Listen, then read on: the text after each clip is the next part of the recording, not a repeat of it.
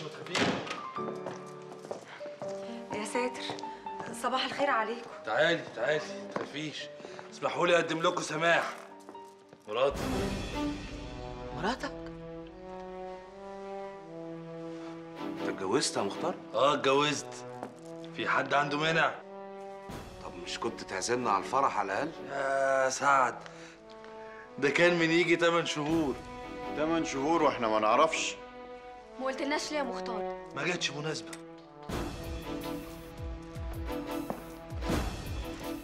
هو أنا شفتك قبل كده؟ أنا؟ آه.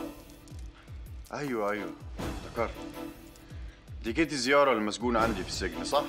مش عارفه مش عارفة يعني. إيه أيوه أيوه أيوه. أبوها مسجون عندكم في قضية مخدرات. يا صلاة النبي أحسن. يا صلاة النبي. وإزاي تدخل الأشكال دي هنا؟ إزاي تجيبها تعيش معانا؟ يا ماما دي مراتي على سنة الله ورسوله. وليها الحق تعيش معانا هنا زيها زيكم في نصيبي وحقي الشرعي أنت أكيد اتجننت. بالعكس يا حاجة ده أنا عقلت. وأخيرا هشم نفسي. وساعة ما تيجي تشم نفسك ما تشموش اللي علينا يا سي مختار. العفو يا ست الكل العفو. أنا كل غرضي. إننا نعيش وسطيكوا عشان نتدفى بيكوا إيدك يا حبيبتي. اوعى أنت مالكش مكان في وسطينا. يا حبيبتي أنا مش هطمن عليها إلا هنا. طب ما تخليها مطرح ما كنت سايبها الثمان شهور اللي فاتوا. مش هبقى فاضي الفترة الجاية. هتشغل كتير وهجيب عن البيت أكتر. وأنت مش مأمن تسيبها لوحدها ولا إيه؟ اخرس قطع لسانك. مراتي سماح أشرف من الشرف ما هو باين من نسبها اللي يشرف. بقول لك إيه؟ أنا استحملتك كتير وخلاص. رصيدك خلص من عندي. خلاص يا سي مختار سيبهم براحتهم تعالى نروح بيتنا نروح فين؟ ده بيتنا. بيت العيلة مش مكان للمجرمين وتجار المخدرات يا مختار. ما بلاش انت بقى. واللي بيته من إزاز. ما يحدفش الناس بالطوب. تقصد إيه؟ يعني لا تعايرني ولا عايرك. ما أنت السبب في الهباب اللي إحنا فيه ده. لا حلو. أنت جيت بمزاجك. محدش ضربك على إيدك. يا جماعة ما يصحش كده عيب. ده أنتوا إخوات. الأخوة ليها حدود يا سعد. ما توصلوش ان نكلم مراتي بالطريقة دي. وعموما أنا مش باخد رأيكم. أنا ببلغكم. يلا يا سماح. يلا عشان أوريكي اوضتك يا سي مختار. بس مش عايز ولا كلمة. أنت هتفضلي هنا. واللي مش عاجبه يخبط راسه في الحيط. ويبقى يوريني بقى هيعمل إيه. يلا حبيبتي. يلا. يا رب. يا رب. يا رب.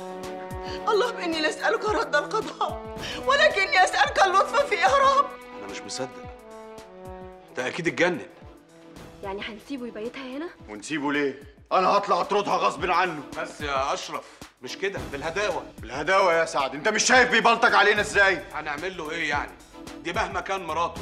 هنسيبه يرميها في الشارع يعني؟ ما هو جايبها لنا من الشارع. بس بقى سيبوه. نسيبه إزاي يا أمي؟ ده اتجنن. يا ابني إحنا في إيدينا إيه نعمله؟ اللي رايد ربنا هو اللي هيكون. قصدك إيه يا ماما؟ قصدي إنك أنتوا مشيتوا في سكة الحرام. وسكة الحرام ليها ديون بتلف على الرقاب وتخنقها.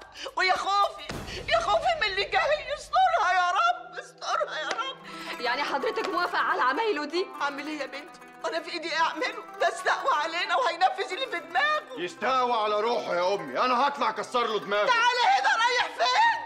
جننتوني يا ريتني ما خلفتكم ولا شفتكم يا ريتني ما شفتكم حرام عليكم سيبوني بقى كده يا سي مختار. هعيش وسطيهم إزاي أنا دلوقتي؟ هتعيشي أحلى عيشة إن شاء الله. إزاي وهم مش طايقيني؟ يا بت يا بت دي زوبعه في فنجان دول أهلي وأنا عارفهم كويس. بس أنا مش مبسوطة. يعني عايزاني أعمل لك إيه يا سماح؟ ترجعني تاني البيت الأولاني. لا الموضوع ده خلص مش عايز فيه ولا كلمة. أنت جاية بعد ما فرقعنا القنبلة تقولي لي رجعني تاني؟ أنا مش قد الحاجات دي والله. حاجات إيه؟ كمية الكره اللي شفتها في عينيهم محسساني إن أنا مش هقدر أعيش معاهم. كره إيه؟ دول أهلي. أهلك أنت مش أهلا بعد شوية أما يهدوا كده هيبقوا أهلك. مش باين يا مختار. يا بت يا بت ما محبة إلا بعد عداوة.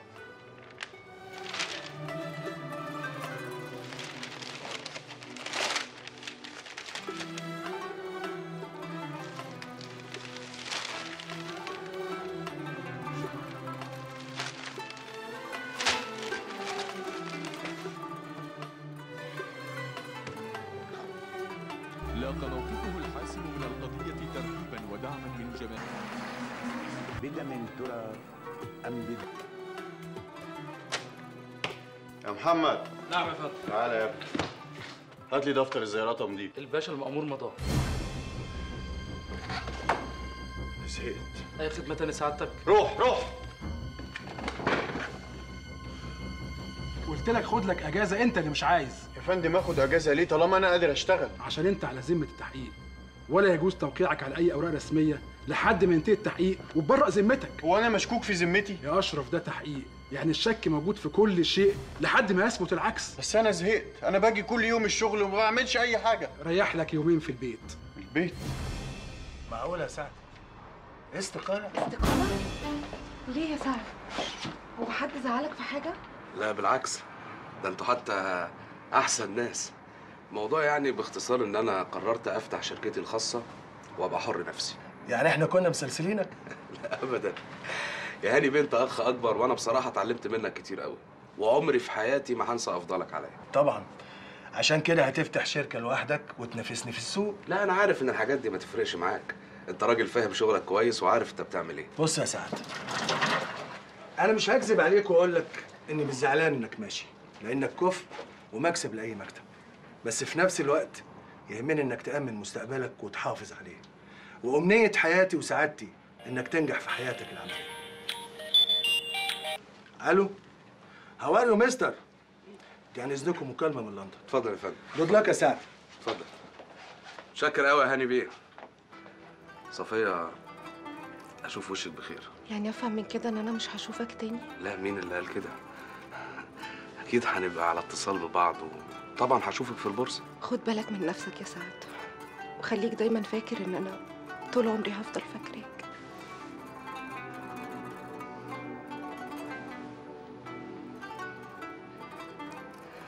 حاسس إن واحد تاني ما أعرفوش. وخايف قوي من بكرة. ده شيء طبيعي. المجهول بالنسبة لنا كلنا مخيف. طيب واللي ماضيه الحاضر بتاعه ومستقبله ويخوفه. يعمل إيه؟ إيه التشاؤم ده؟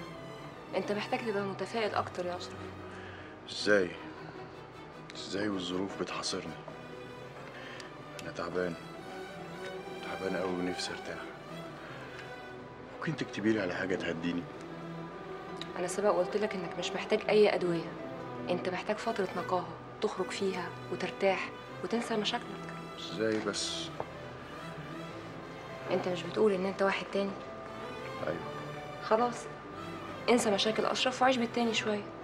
المشكلة إن كلها مشاكل التاني. ويا ريتني عرفت أفضل أشرف زي ما أنا. معلش ممكن ارد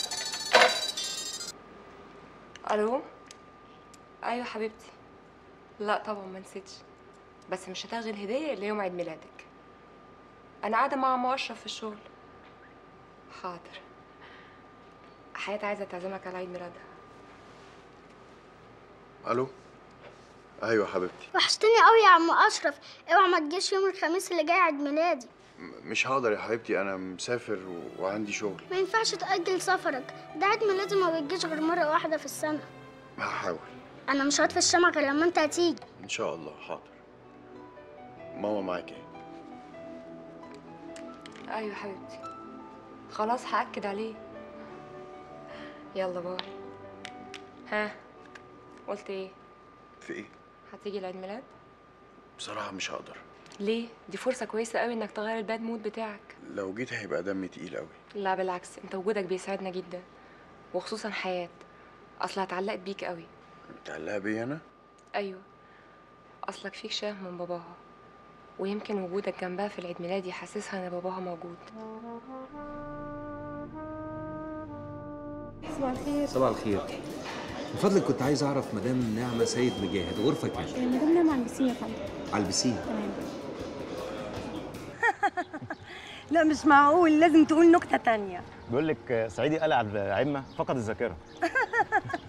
مش معقول دمك خفيف مساء. الخير يا مدام. نديم. مفاجأة مش كده؟ مين الأستاذ؟ أنا فخري فاخر مدير الأوتيل.